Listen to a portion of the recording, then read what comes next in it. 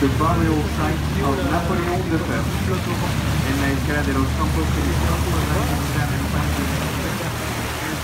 Esperanza aquí. Y cruzando el puente Alejandro III, podrá visitar el Hotel des Invalides donde está la tumba del emperador Napoleón I.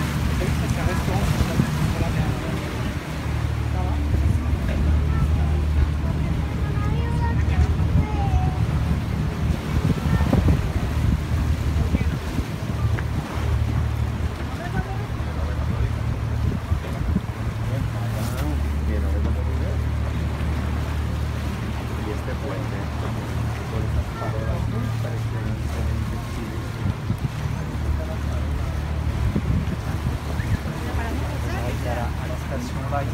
Vai ficar feito.